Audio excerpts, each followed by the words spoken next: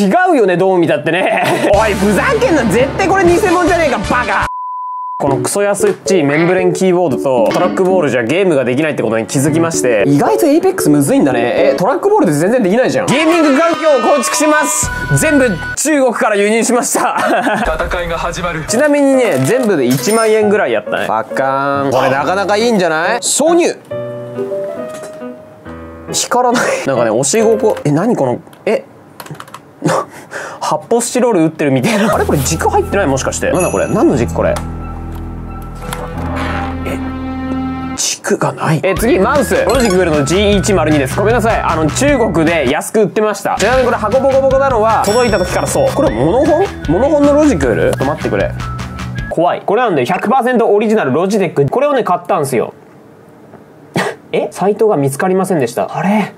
逃げられちゃった。マウスパッド知っちゃおうか。もう柄だけで見た目だけで選びました。じゃじゃん。多分これは著作権的にダメ。てかヨレヨレなんだけど誰かアイロンかけてくんないかなこれ。くっさなんかすげえコンドームみたいな匂いするここで終わらないのよでも。ゲーミングデバイスの部屋といえば LED で装飾すること。それが一番大事よ。こんなのも買ったんだよね。えー、写真とだいぶ違えんだけどゴミつかまされた完全に。ここで切ったら OK ってことねさあ、それでは皆さん、ようやくできました。私のゲーミング部屋、見せていこうと思います。どうすか、これよくない？この、モニターを見れば、Apex Legends シーズン6、輝く LED ライトたち、マウスパッド、あ、ちょっと待って、これ。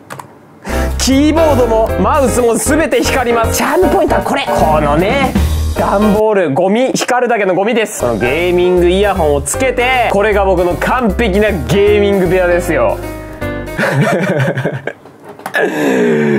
思ったよりクソすぎるんだよなマジで。3000円で作ったって言われてもいらねえもん。Twitter でみんなに聞いてみるわ。あでちなみにこれ何かっていうとゲームしてるじゃないですか。切れそうになるじゃん。あークソうな敵にやられた。ってやるため。これさロジクールさソフトウェア入れたんだけど反応しないんだよね。これ偽物捕まされたもしかして。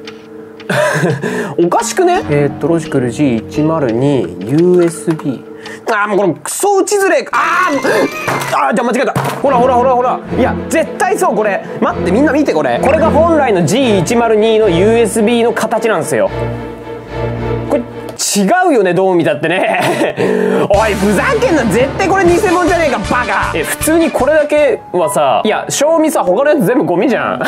でもこれだけはさ期待を持って買ったわけよ。おいガチかよもう。しかもこれに関してはもう終わりだしな。勘弁してくれよ。もうダメだもう全てがもう生理的に受け付けてない僕の体。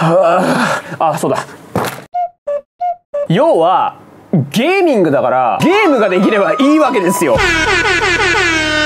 パチモン捕まされたりさなんか LED はすげえ写真と全然違かったりさでもいいわけ。使えれば結局。これちょっとイヤーピースゴミだな。ちょっと VC も使っちゃおうか。Hello Hello Hello Hello. Hello. あなんか喋った。Let's go! 全然誰も反応あいいね。当たらないイヤーピースゴミだな？下手くそなだけじゃんただ。ゲーミングデバイス関係ねえじゃん。ツイッターで募った僕のゲーミング部屋の評価コップがめっちゃでかく見える。そこじゃねえんだよ。